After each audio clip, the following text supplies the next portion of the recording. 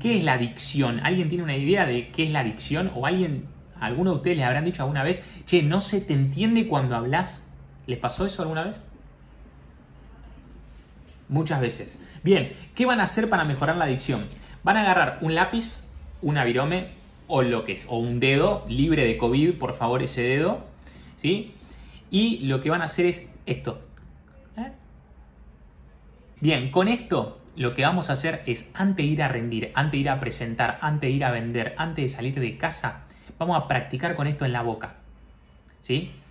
Hay dos ejercicios que son trascendentes al momento de mejorar la adicción, para que la gente entienda lo que decimos. ¿Qué tenemos que hacer para que se entienda? Eso es porque no modulamos correctamente, porque no movemos toda la boca, no movemos la lengua de la manera suficiente para que se termine de comprender. Entonces, esto es un gran aliado porque nos los ponemos en la boca y, bueno, volvió a la mierda, y tenemos que hablar con esto en la boca. ¿eh?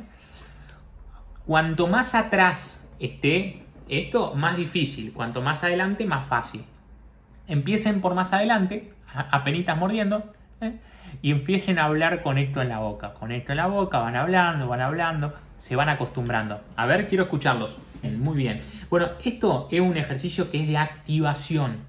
Si ustedes lo hacen antes de hablar, es muy probable que sientan un cambio y sobre todo, por ejemplo, si están repasando la presentación, si están repasando un tema o si lo que sea, antes de ir a rendir.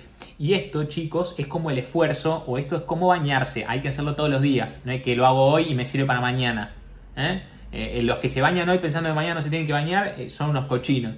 Hay que bañarse todos los días y esto hay que practicarlo todos los días. ¿Ok? Entonces, antes de salir o antes de ir a presentar o antes de ir a dar clase, como es mi caso, me pongo un rato la virome mientras me hago el mate de la mañana, sí, no, dormí bien, hablo con mi pareja y le digo que dormí mal o que dormí bien o le cuento alguna cosa y ya sabe que estoy mal del marote y que le estoy hablando con algo de esto. Bueno, en fin, está bien. Ese es uno de los problemas principales que solemos tener al momento de hablar en público, que es el tema de la adicción.